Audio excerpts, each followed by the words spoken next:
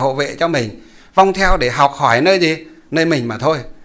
Nương nương theo mình á, để học giáo lý của đức phật mà thôi, chứ vong đó không hại được mình.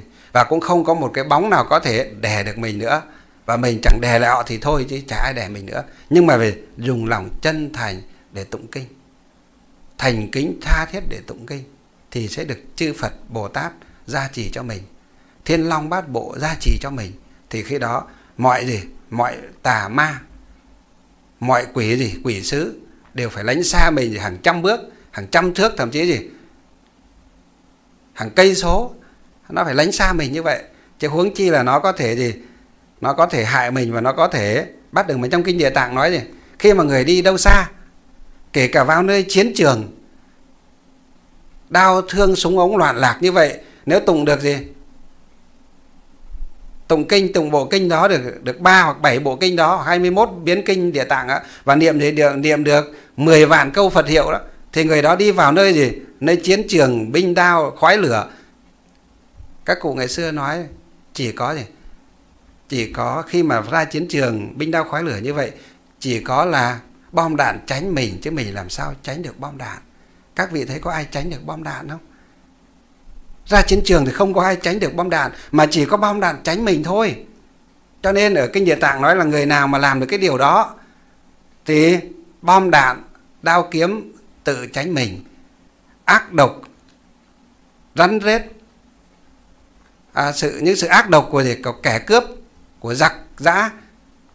Sự độc hại của rắn rết của bọ cạp của hổ lang xài báo cũng đều phải lánh xa mình. Đó chúng ta thấy thế giới động vật còn phải tránh xa mình. Yêu ma quỷ quái, không có lý gì là gì, là hại được mình cả. Mà ngược lại thì còn có thiên long, bát bộ, pháp thiện thần, chư phật, bồ tát nguyện đem công đức này trang nghiêm phật tịnh độ. Trên đền bốn trọng ân,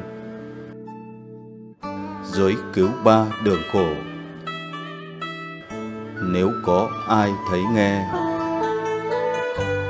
đều phát tâm bồ đề. Hết một báo thân này, đồng sinh về cực lạc. Nam mô tây phương cực lạc, thế giới đại từ đại bi, tiếp dẫn đạo sư a di đà phật.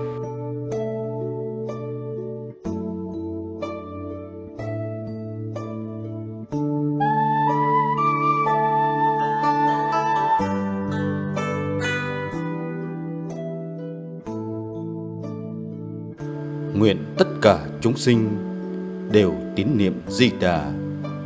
Đồng cầu sinh về nước cực lạc.